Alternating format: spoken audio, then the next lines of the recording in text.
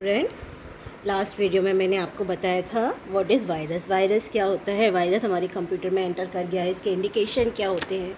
और वायरस हमारे कंप्यूटर में क्या क्या हार्म कर सकता है? और कहाँ से ये वायरस हमारे कंप्यूटर में एंटर करता है? इन सब चीज़ों की जानकारी मैंने आपको लास्ट वीडियो में दी थी। आज हम पढ़ेंगे टाइप्स ऑफ़ वायरसेस वायरसेस के टाइप्स क्या होते हैं? बहुत सारी टाइप के वायरस होते हैं। The level of destruction by each varies widely viruses can be classified as boot sector virus सबसे पहले आता है आपका बूट सेक्टर वायरस बूटिंग होती है। आपको मालूम बूटिंग क्या होती है? बूटिंग होती है जब हमारे कंप्यूटर का जो हमारा ऑपरेटिंग सिस्टम होता है, जैसे विंडोज़ है मान लीजिए। तो जो विंडोज़ है वो हमारा, हमारी मेमोरी में इंस्टॉल होता है, लेकिन मेन मेमोरी में, जो हमारे हार्ड डिस्क से मेन मेमोरी में लोड होने की जो प्रोसेस होती है ऑपरेटिंग सिस्टम के, हमारा कंप्यूटर में सबसे पहले हमारा ऑपरेटिंग सिस्टम ओपन होता है, उसके बाद ही हम कुछ भी वर्क कर पाते हैं अपना। तो वो जो हार्ड ऑपरेटिंग सिस्टम के ओपन होने के हमारे डेस्कटॉप तक पहुँचने में जो टाइम लगता है कंप्यूटर को, उसको हम कहते हैं बूटिंग प्रोसेस। ठीक है? तो बूट सेक्टर वायरस क्या करता है? ये इस टाइप का वायरस होता है कि आपकी बूटिंग प्रोसेस को ही इन्फेक्ट कर देता है। आपका कंप्यूटर स्टार्ट ही नहीं हो पाता। अब जब स्टार्ट ही नहीं होगा तो आप कोई भी काम कैसे करेंगे? ठीक है? तो बूट सेक्टर वायरस सबसे ज़्यादा हार्मफुल होता है। ये आपके कंप्यूटर की बूटिंग प्रोसेस को ही स्टॉप कर देता है। डैमेज मतलब इंटरफियर करने लगता है उसके साथ तो वो स्टार्ट होने में बहुत प्रॉब्लम करता है। तो अब हम पढ़ते हैं बूट सेक्टर वायरस क्या करता है? Infects the hard disk in a computer it replaces the boot record program ये आपके बूट रिकॉर्ड जो होते हैं, उनको डैमेज कर देता है रिप्लेस कर देता है। कोई चीज़ कहीं, कहते हैं ना आपकी कॉपी में से एक पन्ना फाड़ के पीछे लगा दिया, पीछे का आगे लगा दिया। तो ये सब क्या है? आपने कोई फ़ाइल क्रिएट की तो आपकी फ़ाइल को मैं डिस्टर्ब कर दूँ। तो आपकी फ़ाइल किसी यूज़ की नहीं रही ना, आप कैसे उससे वर्क यूज़ करोगे? जस्ट लाइक दैट तो ये भी आपकी जो बूट रिकॉर्ड प्रोग्राम्स होते हैं, उनको भी ये रिप्लेस कर देता है which is responsible for loading the operating system in memory जो कि आपके कंप्यूटर में ऑपरेटिंग सिस्टम मैंने जब आपको बताया ना बूटिंग क्या होती है? सबसे पहले जब हम कंप्यूटर ऑन करते हैं अपना तो आप देखते हैं कि आपको डेस्कटॉप पर जब तक आप नहीं आ जाते, आप वर्क नहीं कर पाते। तो जहाँ डेस्कटॉप आपके कंप्यूटर पर जो आता है, वो आता है कैसे? मेमोरी में छोटे छोटे इंस्ट्रक्शंस वगैरह होते होते हैं, वो धीरे धीरे बूटिंग प्रोसेस उसको कहते हैं booting process the process of loading operating system into the main memory is called booting तो वही बूटिंग उस बूटिंग प्रोसेस को ही ये रिप्लेस कर देता है उसके रिकॉर्ड्स को। Copying it elsewhere on the desk और ओवर राइटिंग इट उन रिकॉर्ड्स को क्या करता है? जहाँ पर मेन होना चाहिए कंप्यूटर फाइंड आउट करने की कोशिश करेगा, वहाँ ये उसको नहीं रखता, बल्कि वहाँ से उठा के कहीं और रिप्लेस कर देता है कॉपी कर देता है उसको। या फिर उनके ऊपर ओवर राइट कर देता है। ओवर राइट मतलब आपने कुछ लिखा और उनके ऊपर उसने कुछ और लिख दिया। तो जब अ सी और DVD या pen drive infected with a boot virus is use in the computer कोई भी आपकी सीडी है या डीवीडी है राइटेबल सीडी डीवीडी है ना? अगर वो सीडी रोम या डीवीडी रोम है तो उनमें वायरस इफ़ेक्ट नहीं करता है।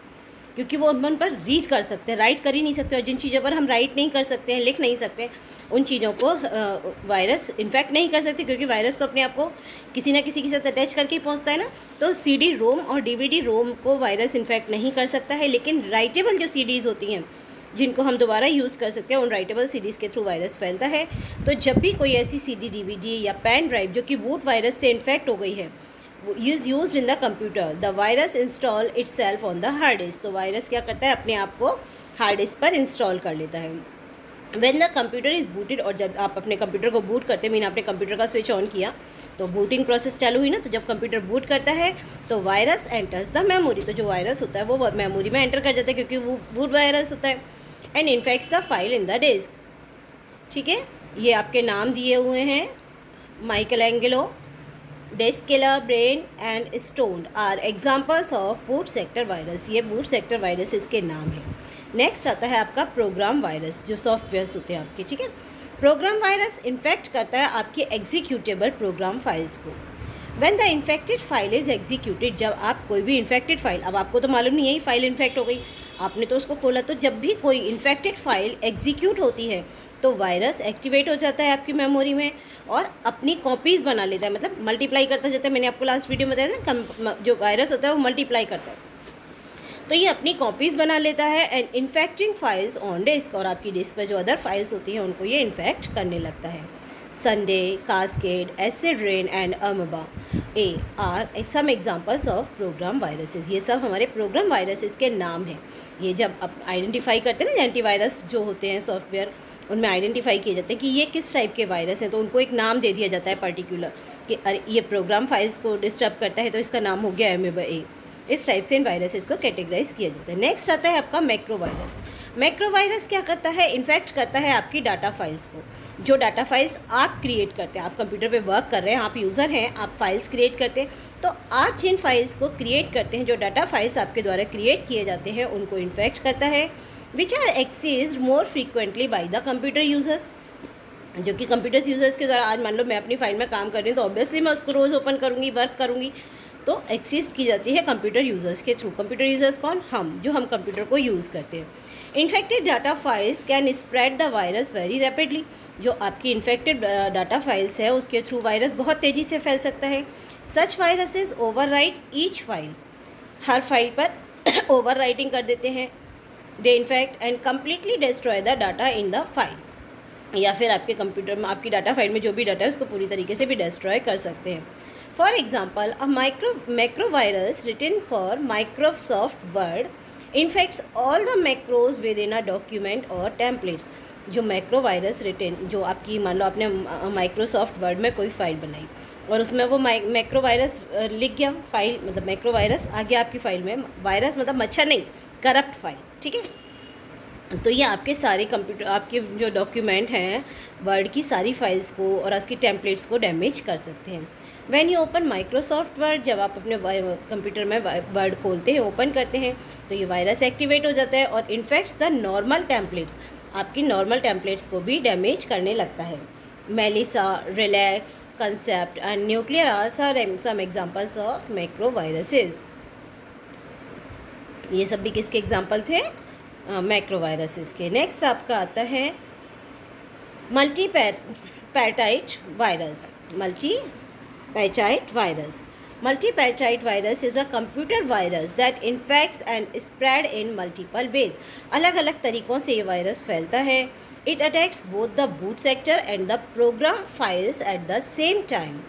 ठीक है ये क्या करता है जैसे प्रोग्राम वायरस होता है वो प्रोग्राम फाइल्स को डिस्ट्रॉय करता है मैक्रो वायरस वो आपकी डाटा फाइल्स को डिस्ट्रॉय करता है और जो बूट सेक्टर वायरस होता है, वो आपकी बूटिंग रिकॉर्ड्स को डैमेज करता है।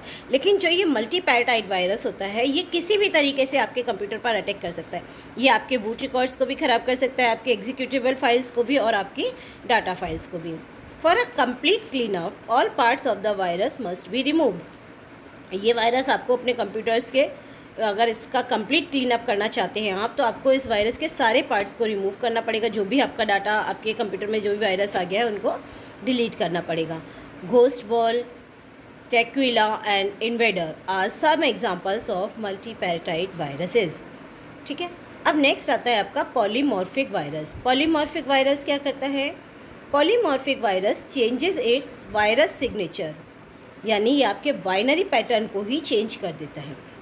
ये वायरस चेंज करता है इट्स वायरस सिग्नेचर यानी कि बाइनरी पैटर्न को। एवरी टाइम इट रेप्लिकेट्स और हर बार जब भी ये रेप्लिकेट करता है, तब ये अपनी आइडेंटिफिकेशन चेंज करता जाता है। मतलब अपना बाइनरी पैटर्न चेंज करना, करता जाता है। हम सबको मालूम है कि जो कंप्यूटर में कंप्यूटर हमारी लैंग्वेज नहीं समझता है, जो भी हम बोलते हैं या हम लिखते हैं, वो केवल बाइनरी लैंग्वेज को ही अंडरस्टैंड करता है ज़ीरोज़ एंड वंस की ही। तो ये हर बार जब भी अपने आप को ये पैटर्न जैसे जैसे ये मल्टीप्लाई करता है रिफ्लेक्ट करता है, नई फाइल्स को इन्फेक्ट करता है, ये क्या करता जाता है? अपने बाइनरी पैटर्न को चेंज करता जाता है। अब जैसे जैसे एंटीवायरस आता है एंटीवायरस सोचते जाता है कि अरे, इस वाले वायरस का अपन ये वाला तोड़ निकालते। लेकिन क्या हुआ? उसने नया पैटर्न चेंज कर लिया, नया तरीका अपना लिया, है ना? तो जैसे ही अब पुरानी वाली का तोड़ निकाला तो इसने नया पैटर्न चेंज कर लिया तो ये इस तरीके से अपना सिग्नेचर चेंज करता जाता है।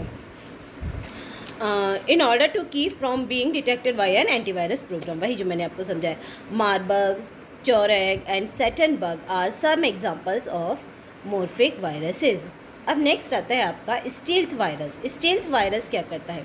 इस चुपचाप आने वाले ये जासूसी करने वाले, चुपचाप घुस जाते हैं, आपको पता ही नहीं चलता। ठीक है?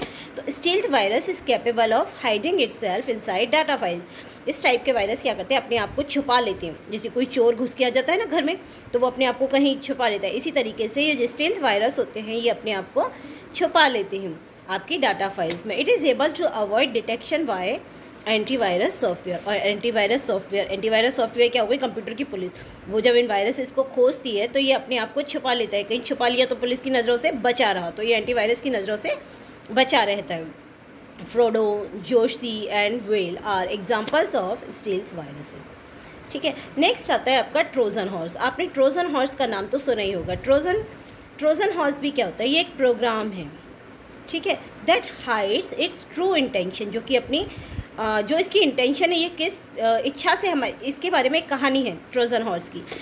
स्पार्टा में राजाओं का वो मतलब उन्होंने हमला करा। तो अब स्पार्टा की जो यूनान था यूनान में एक जगह थी स्पार्टा तो उन्होंने क्या किया, अपने जो किला था उसको बंद कर दिया। अब दुश्मनों को अंदर किले में भेज के जाना था तो उन्होंने क्या किया, उन्होंने एक घोड़ा लिया, ट्रोज़न हॉर्स, उसका नाम था ट्रोज़न हॉर्स। उन्होंने उस घोड़े को उसके सामने रख दिया, किले के सामने, और उसके अंदर उन्होंने विशाल सेना अपनी जो घोड़े का पेट था, उसमें गेट बनाया और उसके अंदर अपनी विशाल सेना बैठा दी। ठीक है, अब जो बाहर अंदर लोग थे, उन्होंने कहा वाह, बड़ा सुंदर घोड़ा है। इसको तो ले आते हैं अंदर। अब उनको तो मालूम नहीं था कि ये क्या है। ठीक है?